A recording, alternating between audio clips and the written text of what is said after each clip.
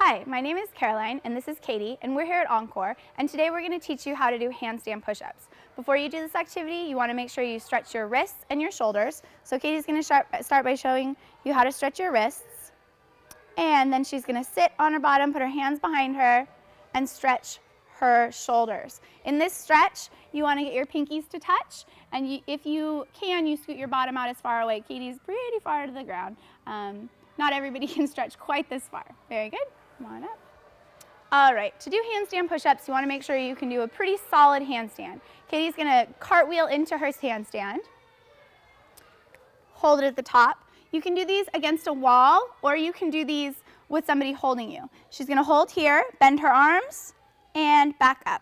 Very good. And again, and back up, and come on down. Excellent. We're going to now show you that from the side so you can see that she keeps her body really straight. Go ahead and do a handstand into it. Hold it here.